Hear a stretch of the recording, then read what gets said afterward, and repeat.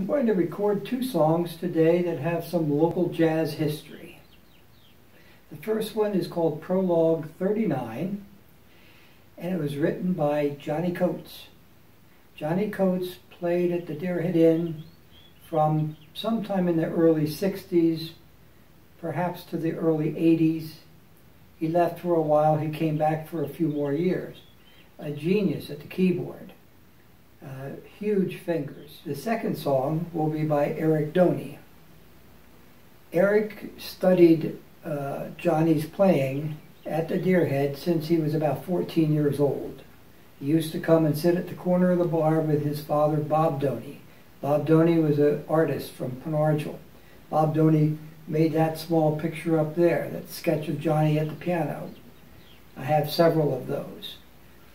The second song Eric wrote for a man named Dale Enslin, who passed away a year or so ago, a friend of mine. It's called uh, Uda Da Dalesky. Uda Da Dalesky. Uh, Dale was a jazz lover and played some piano himself and uh, worshipped Eric's playing. So that'll be the second number. And I'm going to read that one because the voicings are so nice, I want to get them right.